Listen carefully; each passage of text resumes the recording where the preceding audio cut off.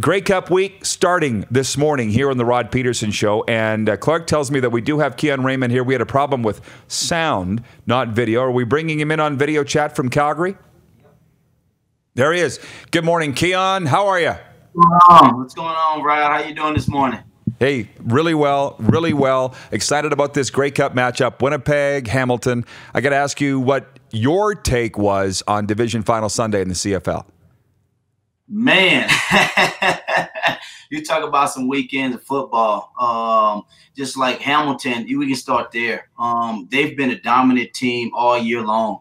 Um, I think what uh, what Coach O has done with their group, um, just getting them to believe. Um, and I guess one message and one goal, and they've uh, they've come in and turned it around um, this year. And so it's been amazing to watch them play. Um, just to be able to take them off. I know it'd be hard for Edmonton to uh, to have a shot. You know what I mean? Like no one's ever come from the Grey Cup, you know, from the crossover match. Um, but I knew it'd be hard. But I know Am- Hamilton was a, a, really good team. Uh, just the, in terms of that young quarterback, man, Evans. Psh, like you talking about a kid who's come on and ready to play football. He's done a tremendous job coming to play football. And um, yeah, just speaking on those riders, man, what a way to lose the game, huh? Uh, I, you know what, it, it, was a good game, man. To uh, you know, I don't uh you know, I, I was kind of questionable those uh, those red zone calls, you know, but in the heat of those moments, you know, I know the offensive coordinator, uh, you know, he, he's probably thinking, you know, a couple different things, but um, he, he felt like probably that was the way to go. But you know, he's a good friend of mine. I, I tip my hat to him. They fought. I mean, for them to go number one in the uh, in the West, uh, finish first. I mean, that's all you can ask for is a shot.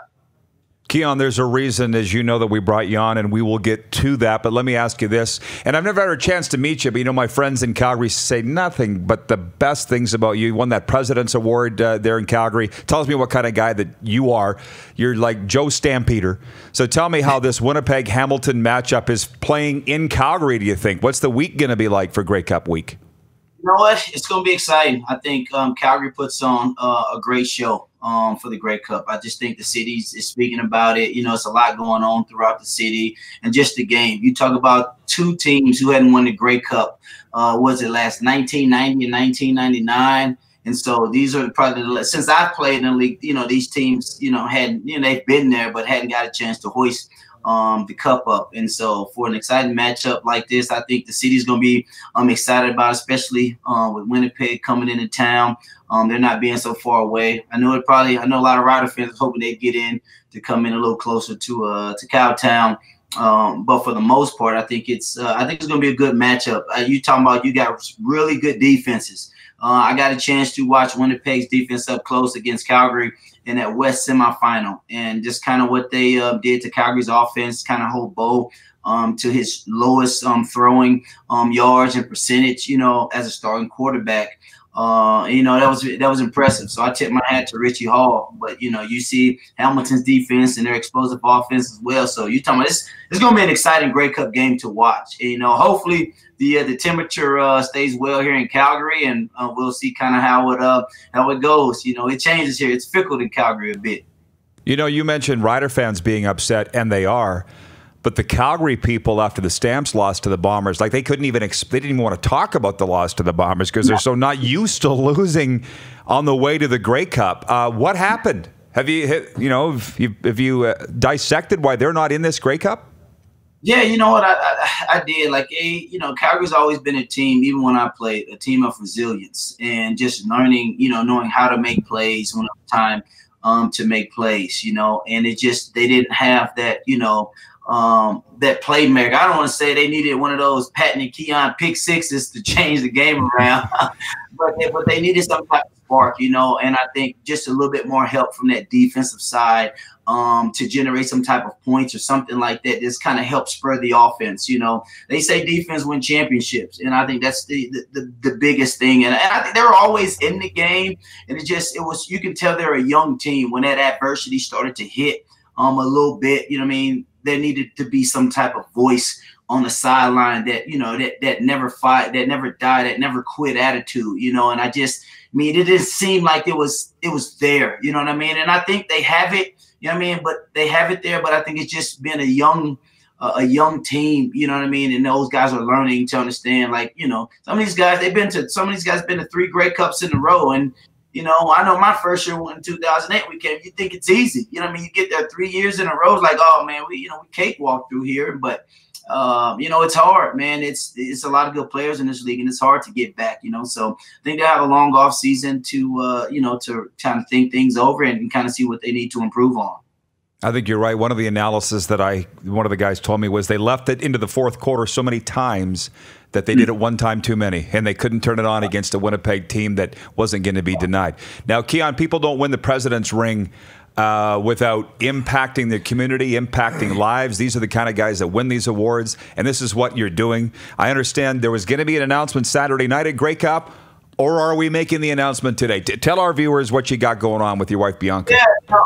Yeah, so me and my wife, man, it's a it's a pleasure. We we decided to stay in Calgary, you know, after the playing career, and um, we've raised our kids here. You know, we've been living here since uh, 2010, and um, me and my wife, you know, after uh, me playing, we decided to uh, start a youth um, sports organization called K25 Sports.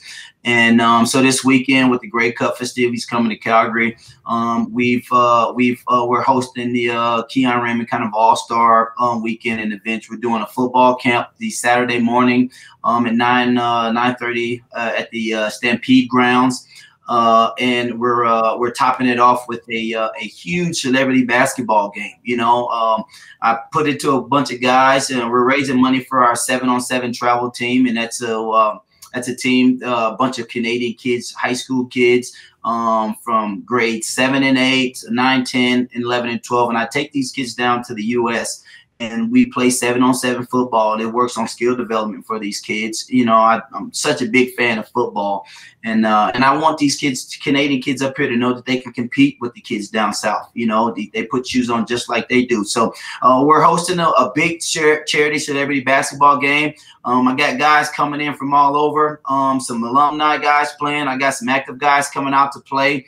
Um, it's what's going to be a fun atmosphere. Just you know, we're raising money. Um, we're gonna have fun. Some, you know, it's probably gonna be it's gonna be the biggest thing happening Saturday night. You know, I know they got some concerts going on, but ain't nothing gonna be bigger than what we got going. We got a couple celebrity judges coming in. Um, Henry Burris is gonna come judge our dunk contest at halftime, so um, it's gonna be fun. Where for fans that are coming and they want to be a part of this, where can they find it? Do they need to buy tickets? So what's you know where and when and all that stuff? How do they get in?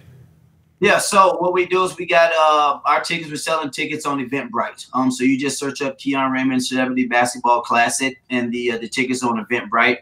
Uh, and you know we're holding it at Crescent Heights, and if anybody been to uh, to Calgary, Crescent Heights High School is probably one of the the prettiest stadiums, uh, gyms um, in the city. It's the second oldest gym um, in the city, and it's a it's a great um, facility um, for us to uh, um, to host this event at. Um, and so we got we got a lot of sponsors coming in as well too. Um, one of them was helping us out, a, a, a big buddy of mine, um, Jack Fulton with Life Choice Dynamics. So they're donating um, ten tickets for kids up front. Um, for a whole Grey Cup package. So we got tickets for those kids aside for them to get an opportunity to meet a lot of the players um, after the game as well. Um, and my uh, my buddy from Speedy Apollo, they've uh, they've donated tickets for kids um, as well, uh, and uh, and Big Chief, you know, so uh, beef jerky, they're coming out and they're helping out. So all our jerky sales are going back to our program um, for our kids to being able to uh, lower our costs for taking kids down to Las Vegas.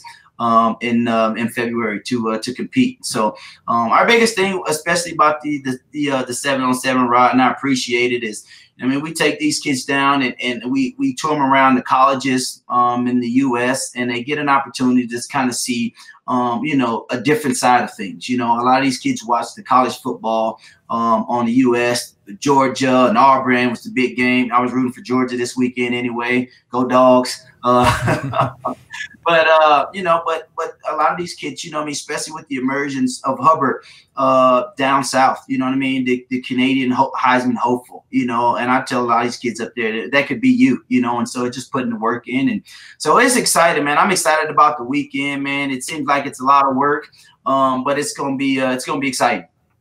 Keon, I appreciate this. Uh, enjoy the week for all that it is. You know how great they are. Thanks for coming on and promoting it, and good luck with it. I appreciate it. I can't wait till the day that we shake hands and meet face to face, but your reputation certainly precedes you, and it's a great one.